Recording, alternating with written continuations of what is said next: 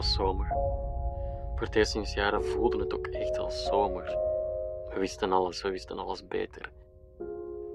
Was je verliefd? Ja, enorm. Ik denk dat ik nooit nog zo verliefd kan zijn als dat ik verliefd was op haar. We waren met acht Vlamingen en Nederlanders. Femke, Jens, Ruud, Karel, Liesel, Ena, Thomas. Dat waren wij. Ik zweer te spreken zonder haat en zonder vrees. De waarheid te zeggen, de hele waarheid en niets anders dan de waarheid. Mag ik u eraan herinneren dat u onder Ede staat, meneer de Volder?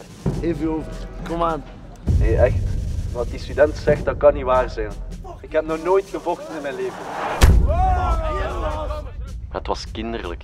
Het ging ons om het plezier. Wie kan het verste pissen? Wie komt eh, het snelste klaar? Waar kunnen we echt veel geld mee verdienen?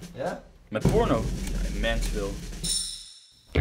De laatste tijd zit jij onuitstaanbaar. Weet je dat?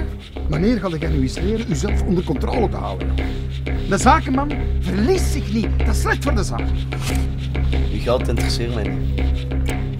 Wat zeg jij? Interesseert het u niet? En dat deed er op je bord. En niet thuis. Heel mijn leven voor gewerkt, hè, jongen. Dat wordt fucking veel views op YouTube. Ik heb dat gefilmd. Maak me geel. Ik ben van helemaal als een sletje.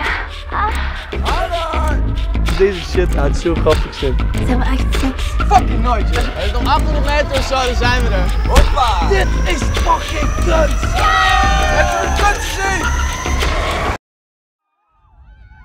En heb je ergens spijt van?